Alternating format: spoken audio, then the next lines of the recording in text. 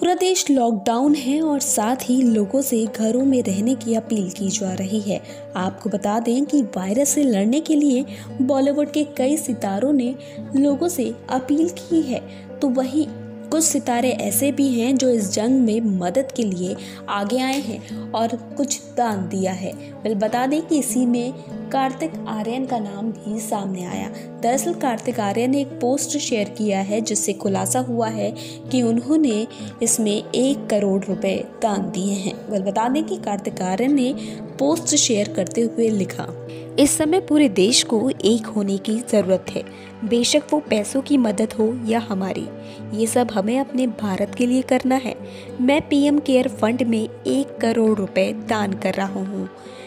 मेरी आप सभी से अपील है कि जितना संभव हो, दूसरे भारतीयों की मदद करें। इस वीडियो में फ़िलहाल इतना ही। ऐसी ही तमाम जानकारियों के लिए बोल्ड स्काई को सब्सक्राइब करना ना भूलें।